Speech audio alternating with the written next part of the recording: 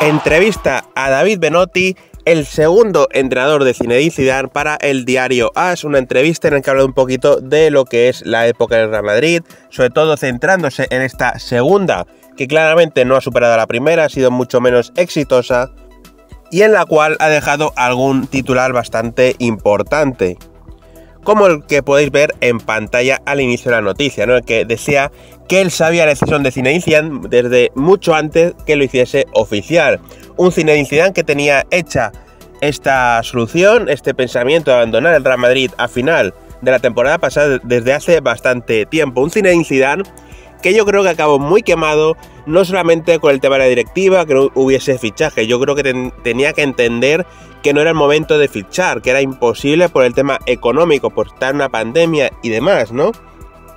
Pero yo creo que las filtraciones a ciertos medios, también ciertos periodistas que estaban y se le veían la cara a Zinedine que no los aguantaba más, y sin embargo el Madrid no es que no les vetase, sino que no controlaba un poquito qué temas, qué típicas preguntas hacía, que todos sabemos qué preguntas le hacían siempre.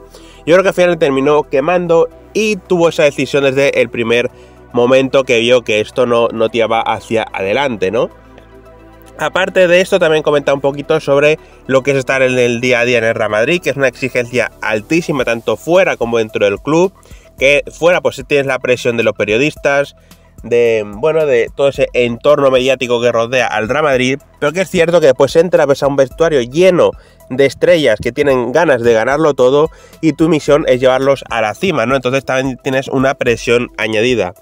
Un Benotti que ha sido una de las caras más reconocibles del cuerpo técnico de Zinedine Zidane, llevan 35 años de amistad juntos y sinceramente creo que deja unos buenos titulares, creo que saber que Zinedine Zidane tenía esa, ese titular, ¿no? esa idea de abandonar Real Madrid hecha, es bastante interesante ver cómo Benzema o Tony Cross, eh, personas muy allegadas a, a, Zidane con una gran amistad, a últimos decían que ellos no creían que lo fueran a abandonar, ¿no? O sea, eso quiere decir que Zinedine Zidane no quiso meter esa presión al vestuario, decir, mira, este es mi último año, me voy a ir, sino que quiso llevar al equipo a lo mejor que, que él podía hasta el final. Una desgracia que al final no se ganase nada, se compitió bien tanto en Liga como en Champions, pero es cierto, como digo, que bueno, que creo que ese proyecto no empezó de la mejor manera, yo creo que no empezó eh, con ganas de, ganarlo todo, sino con una circunstancia de crisis del Real Madrid.